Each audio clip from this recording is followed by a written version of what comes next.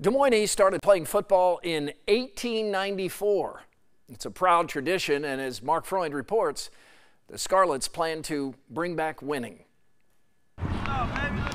Where does a team that won one game It doesn't feel very good. start?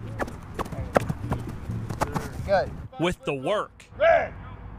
Just the vision and the values of, of discipline, of hard work, of, of being on time, of you know nitpicking every little thing to try to change the culture. And the cultural center Great job. is head coach Tyrone Tyler, now in his second year at East after coming over from Hoover. Nice job, Q. He's brought like a lot of attention to like being to more together as a team. this year we're, we're more of a team like we're more together uh, just guys caring about each other just you know making sure we're all doing the right things when things need to be done Last year it was still a feel out process with me and our staff as well as the kids, and now they know what the expectation is. Um, they've had a solid off season, and so um, they want to win. One of the benefits that Tyler had during his rebuild at Hoover was that the Huskies moved down a class. That won't happen at East, where enrollment simply remains too high for the Scarlets to be bumped down under the current classification format.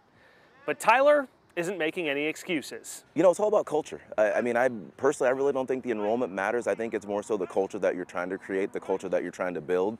Um, you know, when I got here, it was a culture shock for a lot of kids with the expectations that um, our staff had for them. But now the expectation is more wins. we're all tired of being the same east team that you know don't produce any wins that you know everyone says oh it's just east like this is a dub we i think we are we brought we got the passion we got the fire that like okay we're gonna we're gonna come out here and go get a win I would say it's been a motivator a lot for this upcoming year. A lot more people are ready to put in the work for these games that we have coming up. And there it is. Hit.